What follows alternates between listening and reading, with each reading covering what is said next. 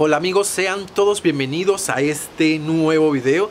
El día de hoy yo salí, quería hacer un video diferente, salí a la calle a grabar, pero no pude grabar, me tuve que devolver porque soy humano y me dio dolores de barriga, me tuve que venir a la casa y aquí estoy tratando de hacer un video, improvisar algo para publicar el día de hoy. Eh, vamos a hacer este video sobre la manera en que las compañías de telecomunicaciones estafan a los chilenos y a los inmigrantes. Eh, hace poco trabajé vendiendo planes telefónicos para una importante compañía de telecomunicaciones acá en Chile, el cual yo vendía un plan telefónico pero no sabía qué estaba vendiendo, no nos explican sobre las condiciones que firma, o sea, el cliente firma un contrato a la hora de contratar un plan y realmente nadie o son pocas las personas que realmente saben lo que están firmando. Luego que dejé este trabajo, actualmente estoy trabajando en algo muy similar, pero es una empresa de cobranza. Las personas que le deben a esta misma compañía telefónica para la cual trabajé hace un par de meses atrás. Para mi sorpresa es que siempre vivo llamando a los clientes para cobrarles, cobrarles lo que le deben a esta compañía. Para mi sorpresa es que entre los nuevos lineamientos, una persona acá en Chile contrata un plan telefónico, eh, lo utiliza un mes, al finalizar, la, tener la fecha de corte de ese mes, tiene que cancelarlo para el próximo mes seguirlo disfrutando. Es lo más lógico. Pero ¿qué ocurre? Que al, al vencerse el primer mes, si tú no pagas, no puedes disfrutar del siguiente mes del servicio, pero la empresa aún así que no te está dando el servicio, pero esto te sigue facturando, es decir, que así no tengas el servicio, los megas o los minutos de llamada, tú tienes que seguirle pagando a la compañía por un servicio que ella no te está proveyendo. No sé si me están entendiendo. Tú tienes el, plan, pero se te venció, no lo pagaste ese mes. Compañía sigue facturándote, pero no te da los megas porque tú no has podido cancelarlo.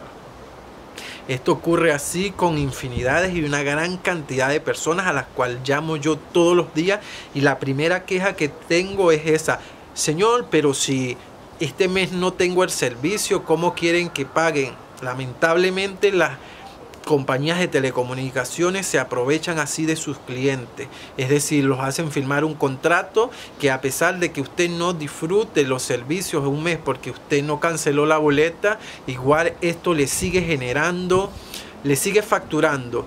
Y lo que para el colmo, lo que agrava más la situación es que hasta que tú no pagues la deuda que estás generando, no puedes dar de baja este plan. O sea, te va a seguir facturando, facturando mínimo por cuatro meses.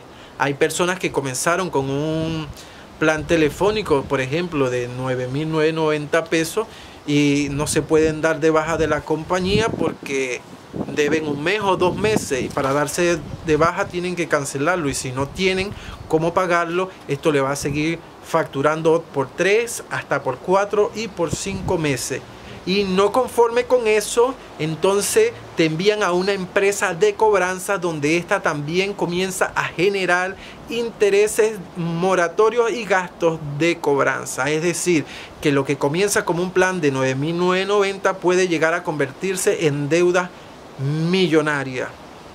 Se basan en esto para estafar a las personas, tanto por los planes telefónicos, por los arriendos de equipos telefónicos y para los tríos, estos hogares, los planes de hogar donde te ofrecen internet, eh, teléfono y televisión satelital. Hay personas que contratan un plan de 18, de 16 mil pesos y cuando uno los llama para cobrar ya las personas deben 300 y 400 mil pesos porque no han podido dar de baja el servicio hasta que no paguen la deuda que contrayeron. Entonces, para mí esto es bastante horroroso, es horrendo cómo se estafan a las personas, o mínimo se le debería explicar a las personas a la hora de contratar un plan, ya sea de teléfono, de televisión satelital o de internet, en lo que se están metiendo, decirle que si ellos no cancelan, no van a poder dar de baja el plan.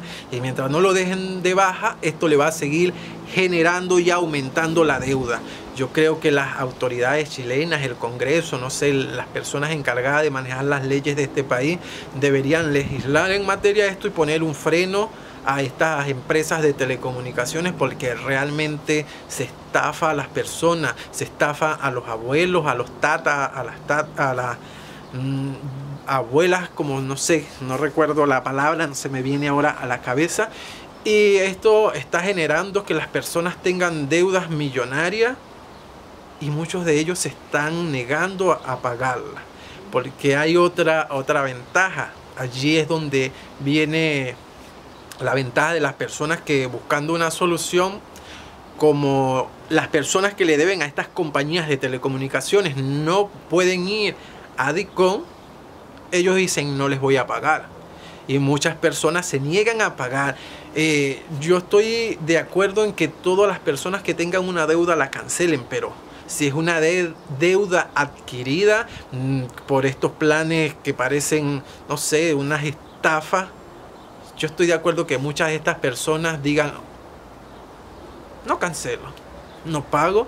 Y a los cinco años aproximadamente tienen la opción de que se borren su deuda del sistema. Entonces, Creo que para evitar todo esto eh, es necesario que se legisle en materia de telecomunicaciones donde se le ponga un freno a todas estas empresas de telecomunicaciones que juegan con el salario de los chilenos y de nosotros los extranjeros que recién estamos llegando a este país y no conocemos cuál es el monopolio que manejan estas grandes transnacionales en contra de las personas que por desconocimiento contratan un plan telefónico, un plan de servicio hogar y luego se ven embaucados en, un huracán que lo que hace es generarle deudas, deudas y más deudas.